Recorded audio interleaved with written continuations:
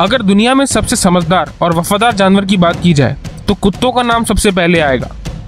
दुनिया भर में कुत्तों की 350 से ज़्यादा नस्ल पाई जाती हैं, जिनमें आपको रफ्तार, समझ और वफादारी देखने को मिलेगी। लेकिन इनमें से कुछ नस्ल ऐसी भी हैं, जो कि बेहद खतरनाक हैं। इतनी खतरनाक कि वो किसी की जान भी ले सकती हैं, यहाँ तक कि अपने मालिक की भी। आर्मी से लेकर बड़ी बड़ी सुरक्षा एजेंसीज भी इनका इस्तेमाल करती हैं। आज के एपिसोड में हम बात करने वाले हैं ऐसे ही खतरनाक और ताकतवर कुत्तों के बारे में, जिन्हें कई देशों ने बैन कर दिया है। डोगो अर्जेंटिनो। ये अर्जेंटीना की एक ब्रीड है, और ये बिल्कुल सफ़ेद रंग की होती है। इसे दुनिया के सबसे खतरनाक कुत्तों में माना जाता है, क्योंकि जहाँ इंसानों का बाइट फोर्स 120 psi होता है, वहीं इनका बाइट फोर्स 500 psi होता है, जो कि एक चीता की बाइट फोर्स से भी ज़्यादा है। डोगो अर्जेंटिनो का वज़न 50 किलो तक हो सकता है। अपने अच्छे शरीर और हाई लंग कैपेसिटी की वजह से ये काफ़ी दूर तक भाग सकते हैं। 2008 में मोरोचो नाम का एक डॉगो अर्जेंटिनो अपने गाँव की दो बच्चियों को बचाने के लिए एक फुल साइज़ की टाइगर से भिड़ गया था। इसे एनिमल प्लेनेट पर भी टेलीकास्ट किया गया।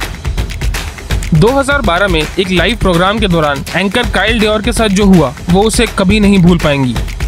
इस ब्रीड के मैक्स नाम के कुत्ते ने उन्हें एक छोटी सी बाइट में ही ऐसा घाव दे दिया कि उन्हें सत्तर टाके अपने चेहरे पर लगाने पड़े। वो उसे किस करने आगे बढ़ रही थी, जो उसे पसंद नहीं आया? लगभग दस कंट्रीज़ ने इस डॉग को बैन कर दिया है।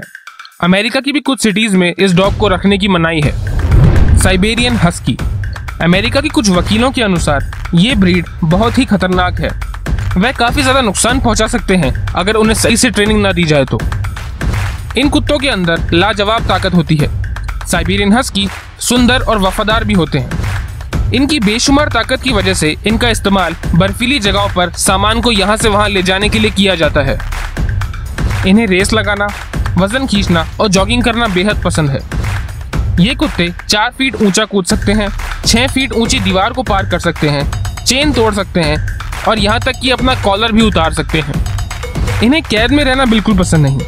इनकी उम्र 12 से 14 साल होती है और वज़न 20 से 30 किलोग्राम तक होता है। इनका बाइट फोर्स 320 psi तक होता है। अमेरिका में 1988 में करीब 15 लोगों की मौत के जिम्मेदार भी यही हैं। American pitbull terrier. इस प्रजाति के कुत्ते आकार में छोटे होने के बाद भी बेहद खूंखार होते हैं। दुनिया के लगभग 12 देशों में इन्हें बैन कर रखा है। इन कुत्तों में बहुत ज़्यादा ताकत होती है और इनका इस्तेमाल वज़न खींचने वाले कंपटीशन में किया जाता है। इनका शरीर काफ़ी मस्कुलर और पावरफुल होता है। इनका बाइट फोर्स 235 psi होता है, यानी डॉगो अर्जेंटिनो से लगभग आधी। लेकिन फिर भी इनकी जबड़े की पकड़ से किसी को निकालना लगभग नामुमकिन ही है। ऐसे में सबसे बेहतर तरीका यह है कि आप इनकी नाक पर पानी डाल दें। 2005 से 2015 तक केवल अमेरिका में ही पिटबुल के हमले से दो सौ चौरासी लोगों की मौतें हो चुकी हैं। अगर आप इन्हें सही से ट्रेनिंग नहीं दे सकते तो आप इन्हें खरीदने का विचार दिमाग से निकाल ही दें। इनका वज़न 20 किलो तक होता है और उम्र 8 से 12 साल होती है। रॉट वाइलर इस प्रजाति के कुत्ते बुद्धिमान, बहादुर और शक्तिशाली होते हैं। इस मुलायम बाल वाले कुत्ते का इस्तेमाल सुरक्षा के लिए किया जाता है। शुरू में इनका इस्तेमाल ब्लाइंड लोगों के लिए किया जाता था, मगर अब इनका इस्तेमाल पुलिस डॉग के तौर पर किया जाता है। इन कुत्तों के एंसिस्टर्स ने वर्ल्ड वॉर वन और वर्ल्ड वॉर टू में एक बहुत ही इंपॉर्टेंट रोल निभाया था। इनका वज़न 60 किलो और उम्र 8 से 12 साल तक होती है। इनका बाइट फोर्स 328 psi होता है।